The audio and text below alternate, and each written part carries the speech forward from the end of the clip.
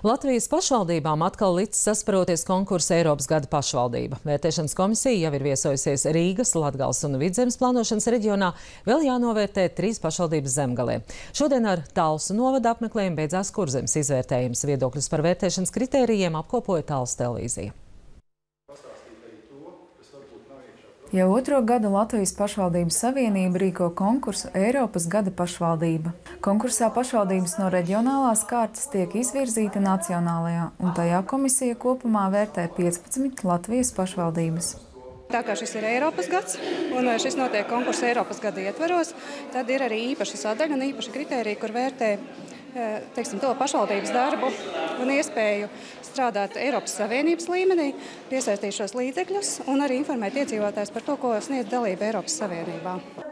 Katra pašvaldība tiek vērtēta nominācijās pēc kritērijiem sociālajās jomās un arī pēc tā, kā tiek popularizētas Eiropas Savienības vērtības sabiedrībā. Mēs savā konkursā eh, šogad vērtējam, kādā veidā pašvaldības iedzīvotāji tiek iekļauti sabiedrībā, lēmumu pieņemšanā.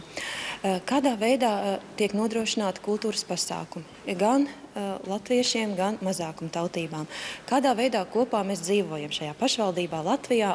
Konkursa norises laikā vērtēšanas komisija dodas uz pašvaldībām, un vizītes laikā komisijas pārstāvjiem ir iespēja apmeklēt uzņēmumus un arī apskatīt kultūrvēsturisko mantojumu, kas raksturīgs katrai pašvaldībai. Vienkārši apbrīnojami skatīties, cik liela ir cilvēku pašiniciatīva un cik daudz var izdarīt arī bez naudas, bet ar vēlēšanos kaut ko darīt. Šodien konkursa vērtēšanas komisija ieradās Kurzemes reģionā, lai vērtētu Talsu novada pašvaldības norises.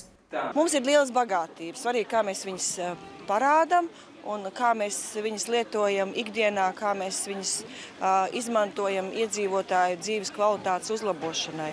Patiesībā noteikti šis arī ir konkursa mērķis. Konkursa rezultāti būs zināmi 18. oktobrī, kad tiks paziņota šī gada Eiropas pašvaldība. Eva Jurčenko, Jurģis Rudaks, Talsu televīzija.